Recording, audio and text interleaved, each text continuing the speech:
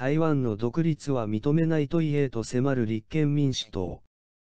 11月29日、衆議院の予算委員会で立憲民主党、末松義則議員は台湾について、台湾が独立するというような動き、これは封じていかなければいけない。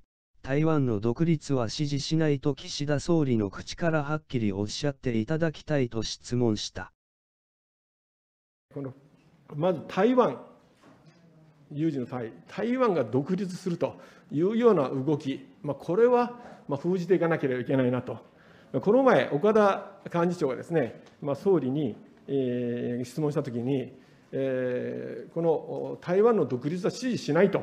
まあ、いうことがはっきり、えー、おっしゃらなかったと、私は記憶しておりますんで、えー、そこは、まあ、バイデン大統領もですね、習近平国家主席に、え、この台湾の独立は支持しないと、はっきりおっしゃられているんで、総理の口からもですね、まず一点、それをはっきりおっしゃっていただきたい。10月の衆院予算委で同党の岡田克也幹事長が正した米国は台湾の独立は支持しないと言っている。その表現、岸田総理は口にできないのか。をなぞったものだ。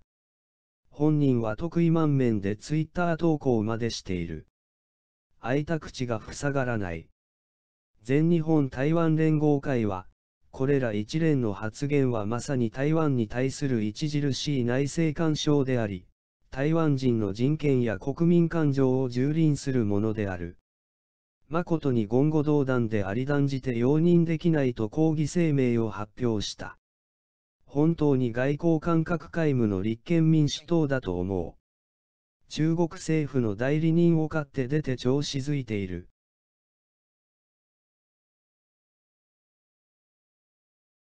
えー、はっきり言えということでありますが、これは外交上はですね、どういった言葉遣いをするか、どういった説明をするか、これは極めて大事であります。我が国として、1972年の共同日中共同声明から今日まで対応は一貫している、変わっていない、これを今申し上げた形で。日本は台湾の独立を認める認めないを判断する立場にないのは明らかだ。バイデン米大統領は、台湾の独立を支持しないという米国の方針について、独立に関しては、台湾自らが判断を下す。米国として独立を促してはいない。それは彼らの決定事項だと説明している。あくまでも民族自決の原則を重んじるという立場である。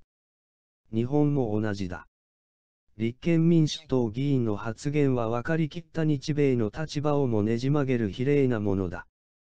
自由と多様性を否定する中国共産党同化思想の立憲民主党だと公言したようなもの。政府与党追及に前がかりになりすぎるあまりつんのめるのだ。政治に外交感覚を取り入れないからこうなる。6日に泉代表がドイツを訪問すると発表したが数年ぶりの海外訪問だそうだ。